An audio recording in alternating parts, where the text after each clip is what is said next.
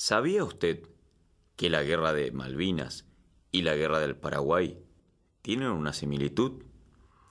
Al regreso de ambas contiendas, los veteranos no gozaron de reconocimiento público a su abnegación. La gratitud de la comunidad a los sacrificios individuales y colectivos no existió, porque en la mentalidad del país pesó una mala conciencia de ambas conflagraciones, atribuible a disquisiciones políticas, pero también a la problemática de la historia reciente. Ambas posguerras sintieron ser periodos incomparablemente superiores a aquellas épocas de destrucción y muerte y, en una conciencia democrática y anestésica, rechazaron todo relato de barbarie e irracionalismo militar. Ello libró las conciencias y sirvió de consuelo a una sociedad que con el olvido creyó haber cerrado un momento ingrato del pasado y haberse liberado del horror del ayer. Ambas guerras, perversas, no se correspondían además con la historia argentina, solo capaz de albergar nobles acciones. Este discurso de la historia censuró el dolor y el sufrimiento de la guerra, pero con ello también sus nobles acciones. En 1907, hace exactamente 100 años, el capitán Cayetano Silva contribuyó a homenajear a los héroes recientes de su regimiento 4 de infantería con una marcha militar que tituló Curupaití, cuyos versos comenzaban así. Saludemos la enseña sacrosanta que en cien combates flameó triunfal, dando sombra a los héroes de Suipacha corrientes y. Dos fueron las intenciones del capitán Cayetano Silva al escribir esta marcha. Por un lado, insertar la contienda dentro de la tradición historiográfica liberal como único reaseguro de perennidad para los hechos que allí se referían. Y, por el otro lado, servir de estímulo a las nuevas generaciones de conscriptos. Para el primer propósito, se tomó por tema el tremolar de la bandera, símbolo de la patria, al frente de nuestros héroes y signo de la causa por la cual peleaban. Asimismo, su insistencia en saludarla al inicio de cada estrofa procuró desalentar algunas opiniones que enmarcaron cinco años de guerra y privaciones en los esteros paraguayos al servicio de intereses foráneos. El carácter sacrosanto dado a la enseña nacional reforzó el espíritu místico de las batallas libertadoras mencionadas. Recordemos que Suipacha, de noviembre de 1810, fue el primer triunfo de las armas patriotas contra la dominación realista. Ituzaingó fue la victoria decisiva de Alvear contra la codicia del imperio. Y Corrientes y Yatay fueron los primeros lauros de la renovada lucha contra el dictador, mariscal Francisco Solano López. Pero no son todas victorias en esta enumeración. La segunda estrofa abordó la tragedia de Curupaití en los siguientes términos. Saludemos la enseña que en Girones, heroica trémola en Curupaití, que viriles bañaron con su sangre, Rivas Díaz, Charlone y otros mil. De la enseña que en Girones, heroica tremoló en Curupaití, el ejército guardaba numerosos testimonios, entre ellos las cartas sobre la guerra del Paraguay, del capitán Francisco Sever, coincidentemente publicadas en 1907, y cuyos testimonios sobre el asalto a Curupaití ilustraban que a la pregunta del general Paunero sobre el paradero de la primera división atacante, el teniente Sebastián Casares respondió, Aquí están, señor general, las cuatro banderas que vienen escoltadas por 60 hombres solamente. El mismo testigo relató haber visto que Roca salía solitario con una bandera despedazada, en torno de aquella enseña gloriosa reinaba el vacío de la tumba. Y fue Sever también quien dejó esa escena tantas veces ilustrada del soldado Carranza y la bandera del primero de línea. Vi también salir un soldado cubierto de lodo, venía solo, agobiado de fatiga, su paso era pesado y vacilante, caminaba demostrando el cansancio angustioso del día, conducía una enseña despedazada, sucia, ennegrecida, con una borla cortada por un balazo. Cuando estuvo próximo, se echó el que hacia atrás y haciendo vibrar el estandarte con gallardía nos lanzó una altiva mirada y dijo, Yo soy el soldado Carranza del primero de línea, y esta es su bandera. Si las dos primeras estrofas hablaron de acciones militares heroicas, la tercera tuvo sobrados argumentos para afiliar la guerra de la Triple Alianza con la tradición histórica liberal. Para ello, insistió en el argumento de considerar el conflicto una lucha contra la tiranía y la barbarie.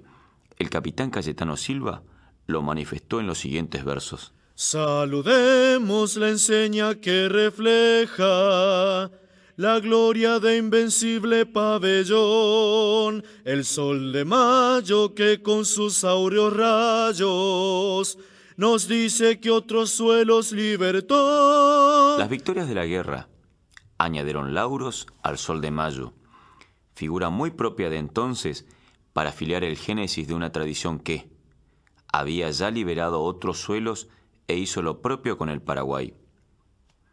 Esa afirmación hizo evidente la intencionalidad del autor de eslabonar los acontecimientos de su relato en la corriente historiográfica oficial para, a un tiempo, empalmar el presente con cierto pasado y legitimar un poder y un prestigio ocupado por el ejército de entonces.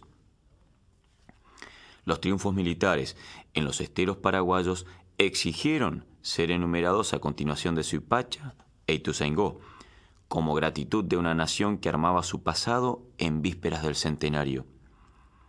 El hilo conductor del relato fue el ondear de la bandera al frente de los héroes de las diferentes guerras. Con ello se fortaleció la inserción del conflicto dentro de la lectura estatal de la historia que arrancó en 1810. La última estrofa de la canción patriótica del capitán Silva ofició además de rito, de rito delegado de una tradición por la cual los viejos veteranos de las Guardias Nacionales pasaron la bandera azul y blanca a los jóvenes conscriptos, reclamándoles mantenerla en alto como ellos lo hicieron durante toda la campaña del Paraguay. He ahí esto puesto en música. Y si al verla en Ginores asomara a nuestros ojos lágrima sutil, en ella está grabada, recordemos, y tu saingo, umaitai curupaiti. Los versos del maestro Silva fueron registrados en 1907 con el título de La bandera de Mayo, pero para la difusión escolar, su letra fue modificada por Clemente Greppi, quien puso su atención en el conflicto en sí. La narración de la guerra que este músico y pedagogo redactó desde su labor como funcionario del Consejo Nacional de Educación para reemplazar el texto del capitán Silva, enumeró en su primera estrofa las victorias aliadas de Tuyutí, Humaitá y Estero Bellaco que, a continuación del burócrata, debían ser recordadas por la posteridad por ser el testimonio cabal del coraje argentino. Nótese que se conservó el carácter sacrosanto de la enseña y de la causa que guió a esos héroes inmortales en su derrotero heroico. Los versos modificados sonaron de este modo.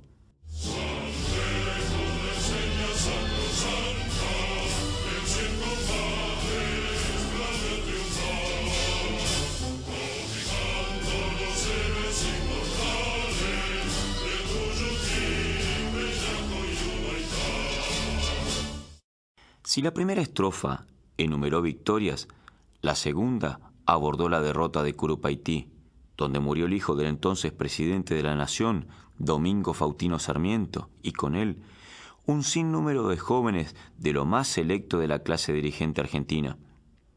Lo que importaba destacar de esa derrota era el heroísmo que mostraron los oficiales devenidos en héroes recientes, como los coroneles Juan Bautista Charlone y Alejandro Díaz, cuyas unidades dieron crédito de lo que eran capaces los soldados argentinos al ser bien conducidos. Como en esos años de constantes aprestos bélicos, se carecía de héroes que representasen el valor del soldado raso. Fueron consagrados los héroes anónimos que glorificaron la lealtad sin límite a la bandera en aquella campaña. En la evocación de otros mil, iba el recuerdo a todos esos soldados cuyas figuras permanecían borrosas, ocultas olvidadas, y que era menester destacar como arquetipos que sirviesen de modelo de docilidad y fervoroso amor a la patria a las siguientes generaciones de jóvenes argentinos. El verso de Silva los conmemoró así.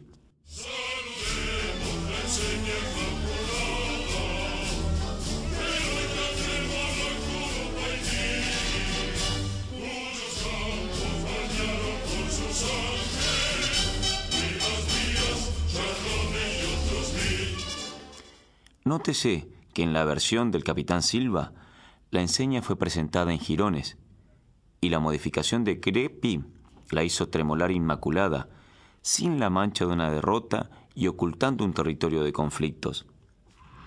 Esto lleva a corroborar que la enunciación de esta reforma literaria no fue ingenua, ni un mero retorno a lo ya acontecido.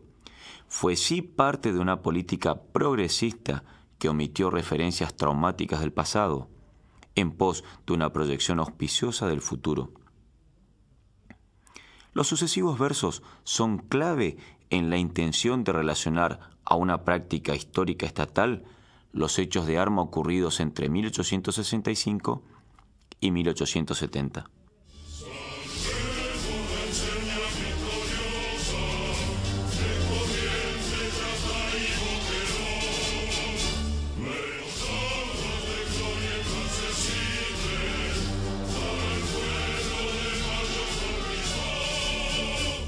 Las victorias de Corrientes, Yatay y Boquerón añadieron lauros al pueblo de Mayo, expresión muy común en cercanías del centenario y cuya mención hizo evidente la habilidad del autor para afiliar su narración alusiva con ese pasado aludido y a ambos con aquel Mayo generador de ideales de libertad. En referencia a la victoria del 25 de mayo de 1866, la crónica oficial omitió que el general Paunero, si bien recuperó la ciudad de Corrientes ocupada por los paraguayos, no pudo permanecer en ella por la apatía de los correntinos hacia el ejército porteño. Por lo que el día 26, Paunero debió retirarse junto a sus 800 hombres. Uno de los héroes de esa jornada, el coronel Juan Bautista Charlone, escribió al respecto, La ciudad de Corrientes y aún todo el país no tiene el entusiasmo que se cree en Buenos Aires y por el contrario no hay espontaneidad ni amistad seria hacia nosotros. Esa fue la primera manifestación de una guerra impopular. Después de la derrota de Curupaití, se hizo más violenta la oposición y todo el país pedía negociaciones de paz. Pero la contienda se extendió más años y solo terminó con la muerte del mariscal López Cerro Corá, el primero de marzo de 1870. La última estrofa nuevamente omitió la imagen de la bandera en jirones, mencionada por todos los testigos de Curupaití.